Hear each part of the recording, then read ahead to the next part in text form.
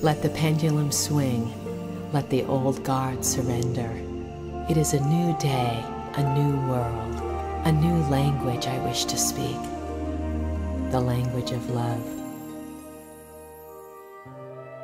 May I have the words I need to speak my truth, to translate my heart and my vision to my beloved and our children, to all who come to sit with us at our table, or walk with us through the marketplace, or pray with us by the water.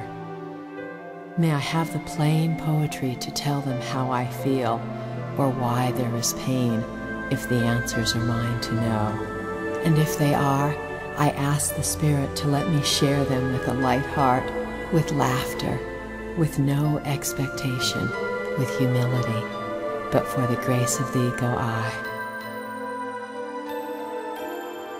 May I know my innocence every moment of every day.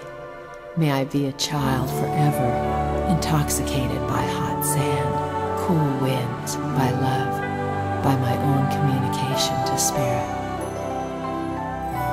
May my aliveness always be as loud when I make love as when I cry. May I see my own reflection in the mirror and smile. Today I give you everything that is mine to give, all my innocence and all my heart. I am yours. Let the dance begin.